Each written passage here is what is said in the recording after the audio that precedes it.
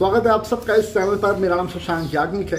Team India का अफ़गानिस्तान के साथ टी ट्वेंटी वर्ल्ड कप में मुकाबला होने वाला है। इस मैच से ठीक पहले भारत का एक स्टार प्लेयर चोटिल हो गया यहाँ बात में सूर्य कुमार यादव की कर रहा हूँ। उनकी इंजरी पर अपडेट है, वो भी मैं आपको बताऊँगा। और वो उनको कहाँ चोट लगी थी, कैसे चोट लगी थी, उस बारे में भी बात करेंगे, आपको बताऊँगा।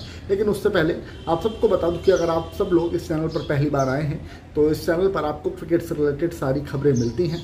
प्लस आपको कम समय में सारी खबरें मिल जाती हैं, यानी कि ज़्यादा लंबे वीडियोस बनाता नहीं हूँ मैं, छोटे से वीडियोस रहते हैं और उन छोटे से वीडियोस में आपको पूरी इन्फॉर्मेशन दे दूँ, ऐसी मेरी कोशिश रहती है। तो इस तरह के वीडियोस देखना अगर आपको पसंद हो तो प्लीज़ आप चैनल को सब्सक्राइब कर लीजिएगा और नोटिफिकेशन बेल ज़रूर प्रेस कर लीजिएगा। इसके अलावा मैच एनालिसिस हो या फिर लाइव आकर के आप सबके साथ जुड़ना हो, वो सब भी यहाँ पर करते हैं तो फिर उसमें अलग मज़ा रहता है। तो वो सब भी होता है बट खबरें आपको कम समय में यहाँ पर पूरी मिल जाती हैं। अब ज़रा जल्दी से बात कर लेते हैं हम सूर्य कुमार यादव की।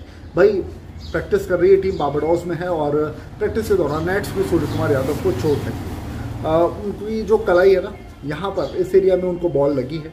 और जो उनको बॉल लगी तो उसके बाद में फिर वो तुरंत नेट से बाहर आ गए आइस पैक वहाँ पर लगाया गया। फिजियो ने आकर के चेक किया स्प्रे वगैरह डाला सूर्य कुमार यादव को। कुछ देर वो रुके, उसके बाद फिर से उन्होंने जाकर के बैटिंग की। लेकिन होता ही है ना कि जब बॉल लगती है तो उस समय तो इम्पैक्ट उतना ज़्यादा रहता नहीं है, लेकिन कुछ घंटों बाद जो इंजरी रहती है, उसके बारे में अपडेट्स आते हैं। तो बीते दिन, यानी कि 12 घंटे करीब पहले प्रैक्टिस टीम इंडिया की वहाँ पर हुई। वहाँ पे सूर्य कुमार यादव चोटिल हुए।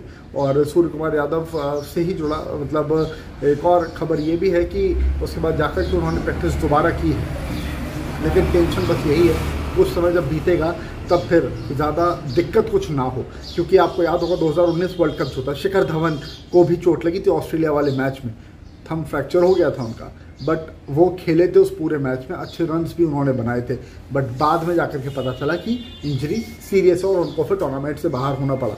हम नहीं चाहेंगे कि भाई ऐसा कुछ हो सीरियस ना हो उनकी इंजरी सूर्य कुमार यादव की। बट जो कुछ समय बाद प्रॉपर असेसमेंट हो पाएगा कि उनकी इंजरी जो है, वो किस तरह की है।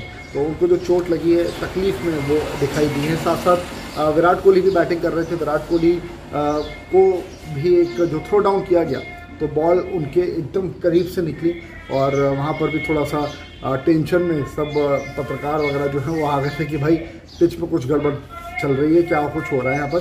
क्योंकि प्लेयर्स को चोट इस तरह से पहले भी लग चुकी है, लेकिन वो यूएसए था, लेकिन रोहित शर्मा वहाँ पर चोटिल हुए थे। खेलते समय एक बॉल अनइवन बाउंस के चलते उठा था और उनके हाथ पे बॉल लग गई थी।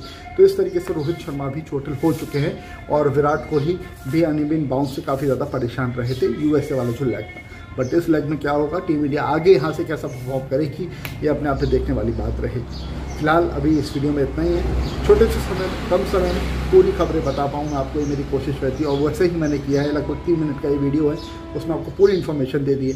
वीडियो पसंद आया तो प्लीज़ इसको लाइक कर दीजिएगा शेयर कीजिएगा और साथ साथ आप इस चैनल को सब्सक्राइब भी कर लीजिएगा, क्योंकि इस तरह की वीडियोज़ लगातार मैं लेकर के आप सबके लिए आता हूँ, जहाँ पर क्रिकेट की हम बात करते हैं। Thank you so much for watching this video